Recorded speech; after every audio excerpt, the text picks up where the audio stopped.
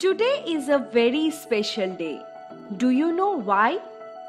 Because today is our National Sports Day. The National Sports Day is a tribute to Major Dhyan Chand Singh, who was a legendary hockey player of India.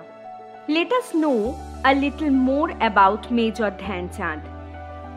Dhyan Chand was born on 29th August 1905 in Allahabad.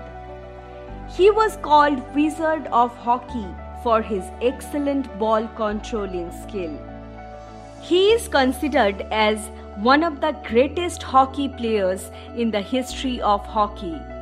He earned three Olympic gold medals in the year 1928, 1932, and 1936 in the field of hockey.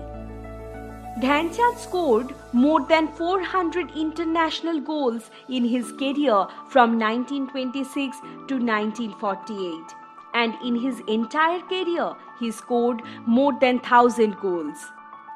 Major Dhyanchand was such a great player that if the ball stuck in his stick then it used to remove only after scoring a goal.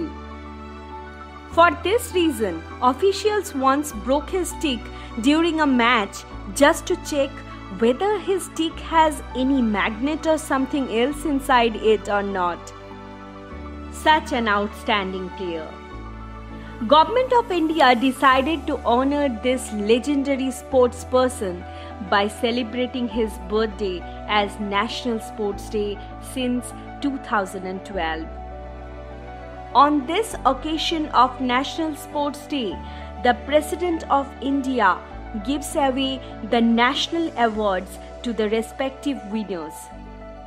Along with the highest sports award, which is Rajiv Gandhi Khel Ratna Award, Arjun Award, and Dronacharya Award, Dhyanchand Award is also given on this day. As a tribute to Major Dhyanchand, the National Stadium of Delhi was also renamed as Major Dhyanchand Stadium.